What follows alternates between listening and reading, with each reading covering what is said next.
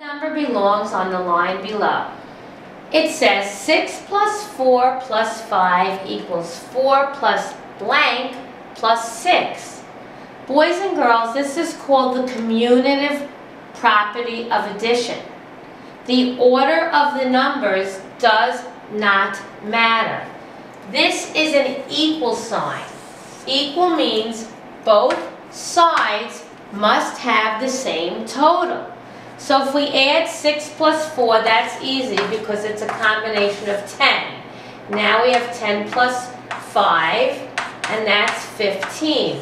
An equal sign means it must be the same on each side. So if we look here, we have 6, 4, and 6, and that is 10. So 10 plus what number is going to give me 15 because it's equal, same. So we should all know that 10 plus 5 is 15.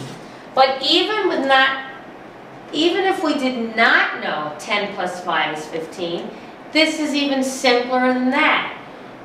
When we add, the order of the numbers does not matter. So this had a 6 in it, this had a 6.